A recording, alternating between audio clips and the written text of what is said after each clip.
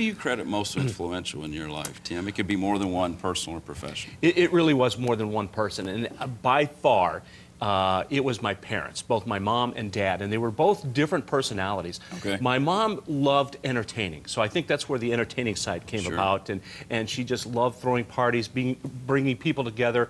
Uh, she was quite whimsical. I remember growing up one day, and dad was going off to work, and I was dressed ready for school, and she goes, "Hey Tim, guess what?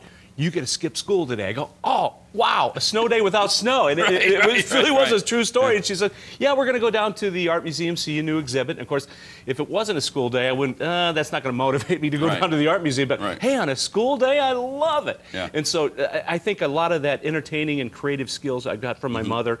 My father was an attorney and lobbyist, for, lobbyist, so very disciplined, buttoned up, very organized. So I think I got a lot of my business skills and organizational skills from my dad. That's great. Uh, a quick example, I mean, you know, most parents, okay, uh, mow the lawn and take out the garbage. No, dad would take a legal note page and actually make detailed notes. Okay, Tim, mow the lawn today. Make sure it's two and three quarters uh, off wow. the, the ground. Make Wow. sure you, uh, you know, trim underneath the trees and the bushes, get that done, and rake up any grass uh, clumps. Or when you take the garbage out, make sure you uh, replace the liner and spray it with Lysol. So Yeah. was like those detail things. But Uh-huh. what was great about that is you had a sense of accomplishment because you Sure. come in and go, okay, check off, did Yeah, that. punch and even in our first book, at the end of uh, an entertaining chapter, I have a checklist Mm-hmm. to help you get ready for the party, you know, things you can do in advance. So basically, Okay. that checklist is there. So two different uh, styles coming together, and I think I borrowed a little bit of, of both Sure. uh, personalities and, uh, and wove them That's into one. great.